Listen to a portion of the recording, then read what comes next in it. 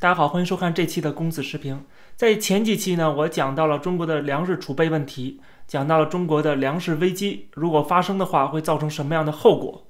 我们最近看到了网上有一个文件，这个文件是中共临夏州委办公室的，它上面写说，三月十七号的时候召开了一个专题会议，就粮食安全工作进行专题安排部署。他说：“这个州委、州政府和各县市要通过多种渠道，千方百计调运储备粮食、牛羊肉、油盐等各类生活物资，同时要引导动员群众自觉存粮，确保每户储备三至六个月粮食，以备不时之需。”最后，文件标注日期是二零二零年三月二十八号。这个文件现在无法核实它的真伪，但是对于中国的粮食危机问题。和粮食储备够不够的问题，现在已经等于说拿上了台面了。为什么有这样的说法呢？我们先看到了全世界各个国家，很多国家现在都已经禁止粮食出口了。比如埃及，未来三个月禁止任何豆类产品出口；哈萨克斯坦也禁止出口小麦、胡萝卜；越南也禁止各种大米产品，越南也禁止各种大米产品的出口。还有泰国禁止，还有泰国临时禁止出口鸡蛋，还有塞尔维亚、柬埔寨啊等等这些国家都已经开始禁止粮食出口。这说明很多国家现在在担心自己粮食储备够不够。这就像很多地方禁止出口口罩一样，现在都在担心自己够不够用。那么中国作为全世界最大的粮食进口国，当然也会面临同样的问题。抢米的抢米了，见面了，抢米抢油啊，我跟了。我跟了抢米。你们看那个买米买油那个看嘛，买米买油的抢那个活活的，把米的，把超市的米油都抢空了。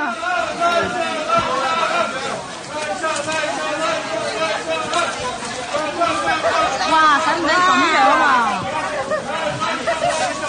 哎，三百三百。所以这份中共的秘密文件并不是空穴来风的。我们看到，连新华社、新京报这些官方媒体、党媒都已经开始报道相关的信息了。你知道，中国的媒体很多都要反着来看的。他如果一再强势粮食足够用啊，粮食非常的呃丰富，那么就说明他有可能是粮食短缺，要不然他不会特意强调这一点。在历史上已经发生多少次啊？从人民日报开始带头撒谎啊，带头来欺骗。最后造成严重的饥荒。现在真实的情况到底是什么呢？如果我们客观的来讲，中国确实有庞大的粮食储备，但是有个问题：第一，你不知道这个储备的具体数目是多少。中国的造假的数据比比皆是啊，连 GDP 都是造假的，就业人口、失业率都是造假的啊，何况这个粮食的数量？第二，就算是它的粮食储备是足够的。啊，像广东说它可以持续半年时间，对吧？还有一些城市说可以持续半年到一一年的时间。我们就算打个折，三个月，啊，它哪怕能够持续三个月，那三个月之后怎么办呢？三个月之后如果没有新出现粮食的话，是不是大家都要饿死呢？很可能出现的一种现象就是像他官方说的，主粮是充实的，比如说水稻、小麦，啊，基本上你在家就只能吃米面了。中国人很可能会面临一个。你吃不上肉的这个现象，现在其实已经在很多地方都已经买不起猪肉了。未来可能不是你买不起，而是根本就买不到猪肉了。因为中国对粮食的进口，特别是对大豆的进口，它主要的作用就是饲料的作用。所以，如果这个粮食危机爆发的时候，中国人面临的现象就是只有一些馒头可以吃了，没有肉了。到后面是不仅没有肉，连馒头都没有了。总之，它肯定是一个循序渐进的过程。所以到时候它一定要对这个粮食分配的体系进行一个重新的调整。也就是说，不可能有些地方可以铺张浪费，有些地方只能吃窝窝头。它一定是要大家都平均下来啊，大家都能够。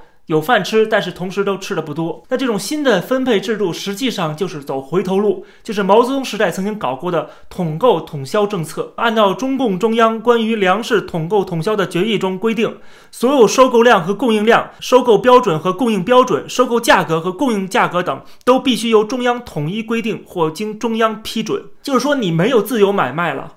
你完全是全部上交国家，国家再来分配，最后扩展到除了粮食以外，其他的一些工业用品也是这么做的，也是统销统购。那么最后的结果就是，中国的农民处在一个半饥半饱的状态啊，饥一顿饱一顿的。但是他们给中央上交了是大量的粮食和一些工业用品，那么这之间形成了一个剪刀差。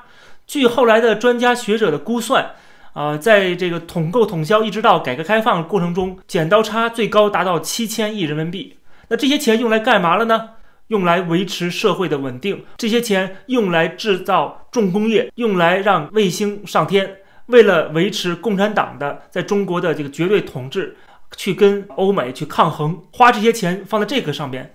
而让普通老百姓积贫积恶，那么这种曾经走过的路线，眼看着在中国要重新再走一遍了。我们看到，二零一八年的时候，新华社一条新闻说，全国百分之九十五的乡镇又有了供销社，说供销社是为农服务的合作经济组织，主阵地在农村。五年来，我国恢复重建基层供销社一万多家，总数超过三万家。乡镇覆盖率从二零一二年的五百分之五十六提高到目前的百分之九十五。这种供销社重新建立，它其实就是为了未来这种统购统销来做一个铺垫，未来就可以真的去征粮了，就真的可以重走回头路了。请问到那个时候哪有什么不挨饿的情况呢？那么你说我意识到这个问题了，我是不是在家里存粮就管用呢？啊，当然是某种程度上啊，你对这个政府是不能相信的，你只能相信你自己。但是有个问题，网上我们看到一条消息，在海南的一个女的，就是因为在微信朋友圈里边，微信的可能呃家庭的群里边，跟她的亲戚说让大家去买米，就因为这句话导致她被警察逮捕。我没想那么多，没有想那么多啊。我也没有。那如果是我经过大脑考虑多的话，我也不会发这种信息的，对不对？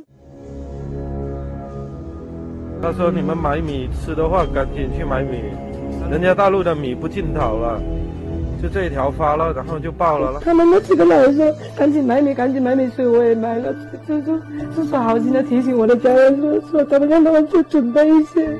多准备一些也是为了好了。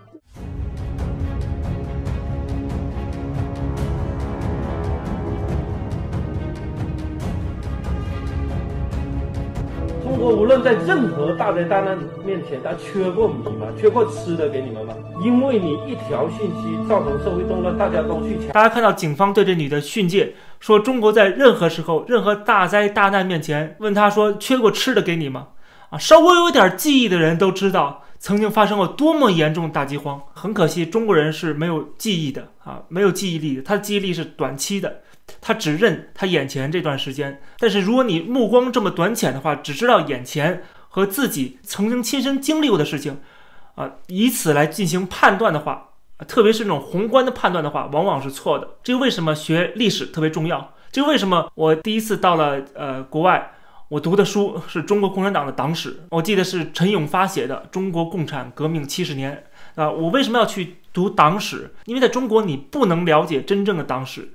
他不会让你知道。很多人说今天的共产党已经跟以前不一样了。现在事实和整个趋势已经证明了，共产党还是共产党，它没有改变。它的本质上不能因为改革开放，因为某种程度的接收资本主义的市场经济，它这共产党的本质就有改变。它仍然是一个从上到下集权的列宁主义政党，它的逻辑啊，执政逻辑和它的生存逻辑一直都没有改变过。这期的公子视频就跟大家先聊到这儿，别忘了订阅我的频道，而且我开通了会员功能，希望大家能够支持，谢谢大家，我们下期再见。